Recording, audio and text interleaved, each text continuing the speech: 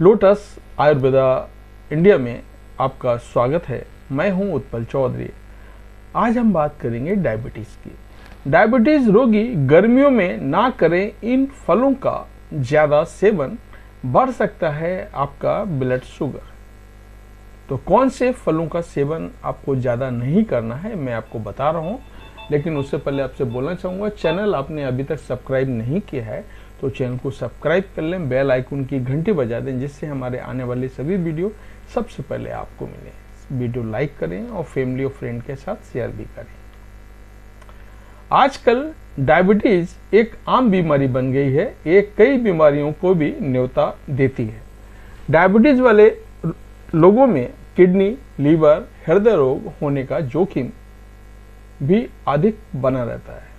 इसलिए डायबिटीज़ के मरीजों को ब्लड शुगर का स्तर कंट्रोल में रखना बहुत ज़रूरी होता है।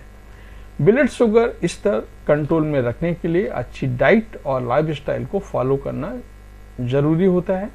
गर्मियों में अनाज खाने की इच्छा कम होती है। ऐसे में अधिकतर लोग फलों का सेवन ज़्यादा करते हैं। हालाँकि डायबिटीज़ रोगियों को गर्मियों में कुछ फलों का अधिक मात्रा में सेवन करने से बचना चाहिए। तो डायबिटीज़ पेशेंट गर्मियों में ना करें, इन फलों का ज़्यादा सेवन। तो पहला है तरबूज, यानी वाटर मेलन तरबूज गर्मियों में सबसे अधिक खाए जाने वाले फलों में से एक है।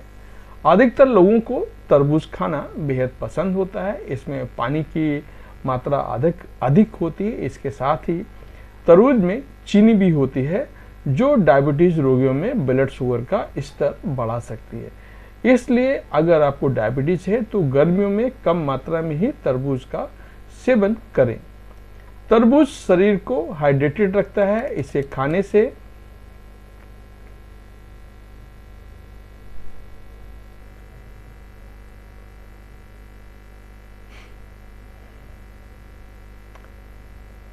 इसे खाने से पेट की गर्मी शांत होती है रिलैक्स फील होता है।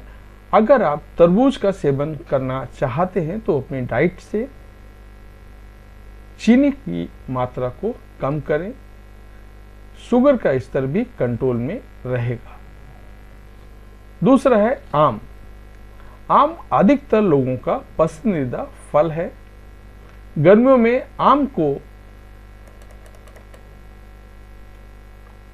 खाना खूब पसंद किया जाता है। कोई आम को फल के रूप में खाता है तो कोई मैंगो शेक बनाना शेक पीना पसंद करता है। अक्सर लोग एक दिन में खाना खाने के बाद खूब आम खाते हैं। लेकिन अगर आप डायबिटीज़ रोगी हैं तो आम का सेवन अधिक मात्रा में करने से बचें। आम में शुगर और काप्स अधिक होता है, जो रक्त शुगर को बढ़ा देता है। आम दिन में आप एक आम खा सकते हैं। हालाँकि आम ज़्यादा खाने से आपको तकलीफ़ होगी। एक खाएँ, लेकिन आपको ध्यान रखना है आपको आम रस नहीं खाना है कि आम रस जब बनता है तो अमरूद आम का उसमें शुगर ज़्यादा हो जाता है। और डायरेक्ट अगर आम खाते हैं तो वो आपके लिए ठीक है। लेकिन आम रस और आम में काफ़ी ज़्यादा अंतर है। बनने के बाद काफ़ी ज़्यादा मीठा हो जाता है, इसलिए आम रस को अवॉइड करें। और अगर आपको खाना है तो एक दिन में एक आम आप खा सकते हैं। तीसरा है केला। केला सभी मौसम में मिलता है। केले में भी चीनी और काप्स अधिक होता है, इसलिए डायबिटीज़ रोगियों को ज़्यादा मात्रा में केले का सेवन नहीं करना चाहिए। केला डायबिटीज़ रोगियों में ब्लड शुगर के स्तर को अनियंत्रित कर सकता है। चौथा है अनानास।